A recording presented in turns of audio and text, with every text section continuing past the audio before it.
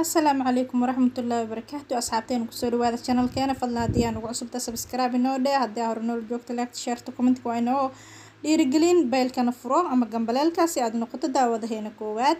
Maanta waxaan ka hadli doonaa insha allahu tacaala mala dhiban tahay lafa xanuun mala dhiban tahay xasaasiyadda dhuunta quumanka carruurta iyo adigaba hadday jawaabtaadu haataa fadlan wuu ku anfacayaa videogan dhammayso insha allahu tacaala laagtana noo siiya subscribe-na dhaha insha allahu tacaala maanta waxaan ka hadli doonaa arrimahaasi waxaa halkan inoo yaalla waa tumerig ama huruudda qoyan iyo caano.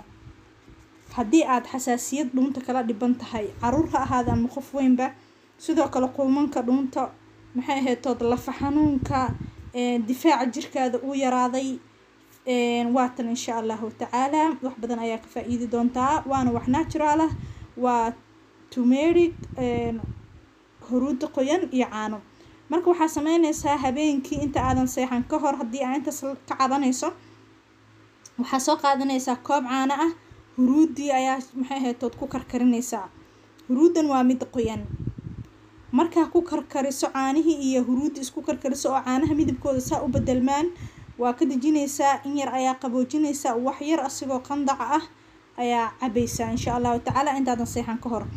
Maxay kaa caawineysaa waxay kaa caawineysaa implementationka caabuqa ku dhaca dhuunta oo kaleeto iyo xasaasiyadda quumanka. Intaas waad uga maarmeysaa insha allahu tacaala.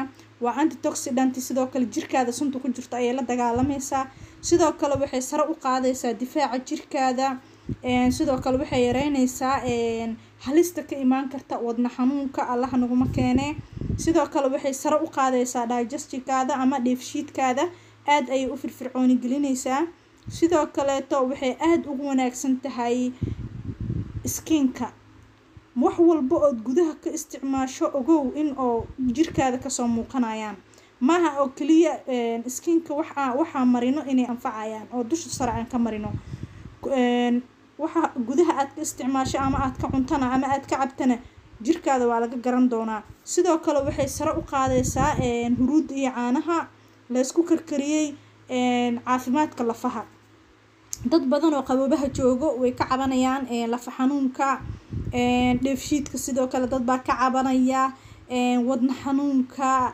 Maxay ta immunitigaada oo daciif noqdo antitoxidant waaye sidoo kaleeto sunta jirkaada ayay la dagaalamaysaa marka haddii aad intaas ku aragto iyo xasaasiyadda dhuunta iyo quumanka waad ugu maarmeysaa insha allahu tacaala daawooyin kale adigoo fresh ah oo relax dareemayana waa ka soo kacaysaa insha allahu tacaala. Soo tijaabiya asxaabey aniga hore ayaan u tijaabiyey insha allahu tacaala